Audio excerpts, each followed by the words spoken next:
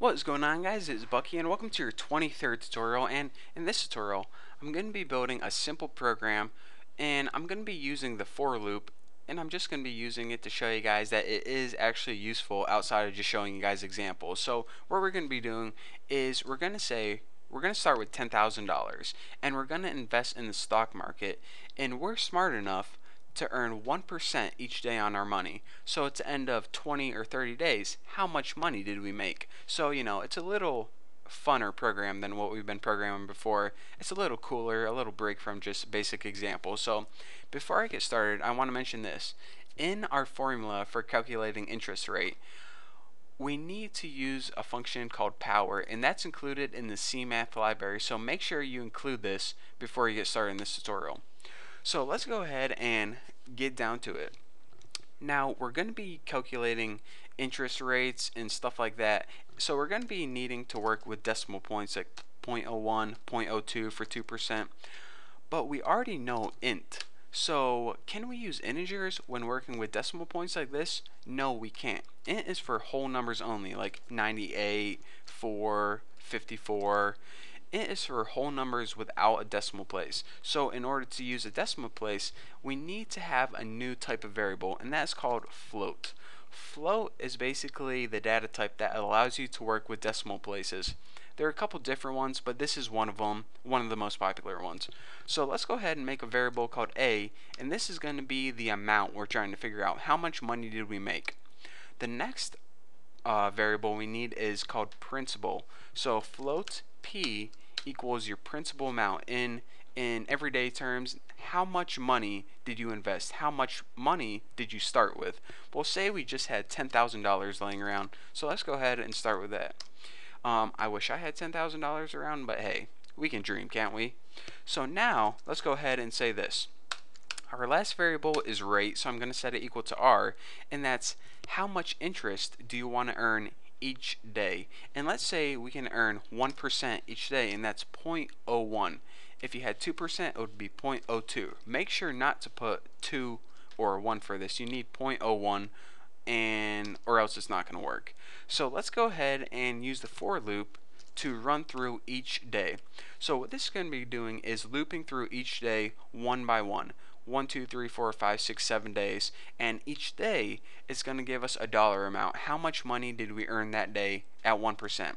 So, of course, the for loop is going to loop through days. Let's go ahead and make a variable called day, int day, and we'll start at day one, obviously. And the next parameter it needs is how long do you want to invest your money for? So let's say um, 20 days. So day is less than or equal to 20 days and of course day plus plus because one day at a time we're not skipping any days and we're not taking any vacation time here. So now the formula for interest rate is this. The amount of money that you earned is equal to the principal amount times and in parentheses put this actually no not yet. The principal amount times the power and this is where you put parentheses 1 plus the rate and this is would be let me go ahead and type this out. I can't talk and tell you guys financial formulas at the same time. The formula for calculating interest rate is this. The amount of money you're going to make is equal to your principal investment times 1 plus rate, and the rate would be 0.01 in this case, to the day exponent. So it would be like um 1%, 1.01% to the 20th power. So I mean, it's a weird formula, but that's how you calculate it. Just trust me, it works. So anyways, now what we have to do is just print out on the screen how much money we're going to make. So let's give it a nice little print thing. Um, let's go ahead and print the day first. And then just want to give it a nice little spacer here. There we go. And then we go ahead and write A. A is the amount of money that we're making and then go ahead and we'll print this on a new line each time. So let's go ahead and run it and you'll see what I'm talking about whenever I run it. So here is the day to the left, 1 through 20. We start off and at the end of the first day, if we invest $10,000 at 1%, we earn $100 at the end of that first day. At the end of the ninth day, we almost earned $11,000.